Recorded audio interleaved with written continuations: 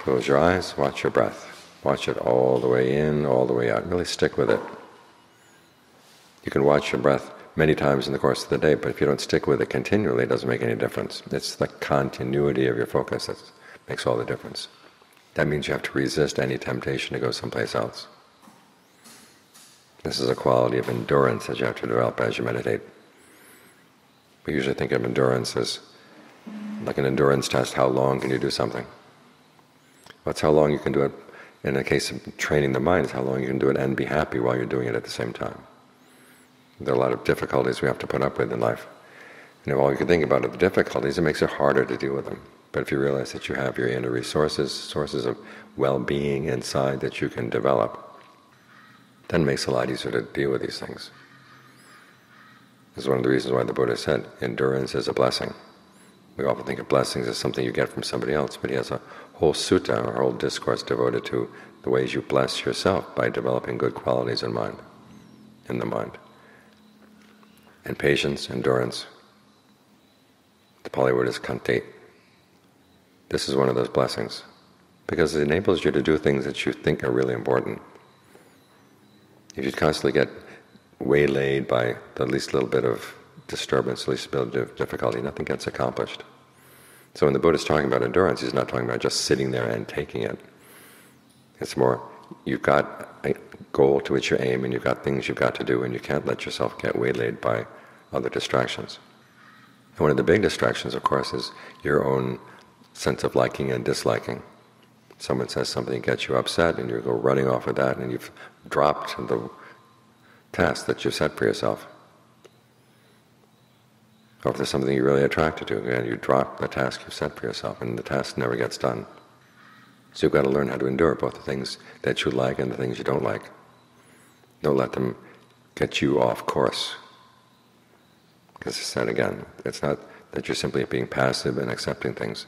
You have to have your sense of priorities. What's really important in life? What do you want to accomplish with this life?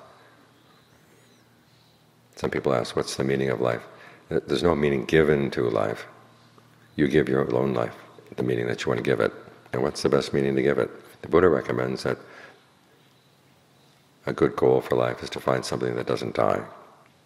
After all, we have this body here that dies. We have to leave the world.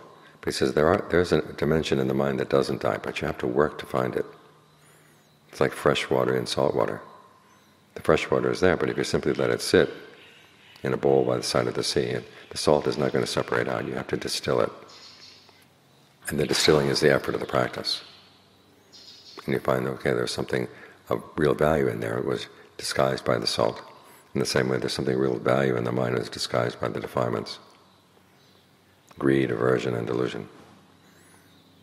So you have to work to clear those things away. And you want to make sure that your moods don't get in the way. Otherwise, you meditate when you feel like it, and you don't meditate when you don't feel like it, and the times when you don't feel like it, seem to get more and more and more. The right attitude is whether you feel like it, you do it. Whether you don't feel like it, you do it. That's what endurance is all about. You learn how to endure your likes and dislikes and not get dissuaded by them. So to keep yourself on course, try to develop this quality of endurance. Other things may come up, but you don't let yourself get distracted by them. You don't lose your focus. Because there are important things that need to be done in life, especially things in the mind. Nobody else can do them for you, and they don't get easier as you get older. So do what you can right now. And as for the things that would pull you aside, just learn how to endure them. Don't pay any attention to them. Remind yourself of the resources that you have inside. One of the reasons we work with the breath is because we can make the breath comfortable, make it easeful, make it give it a sense of fullness inside the body, well-being inside the mind. So that the prospect of having to endure difficult things doesn't seem so daunting, doesn't overwhelm you. That way you can stay on course, and this way you bless yourself every day as you stay on course.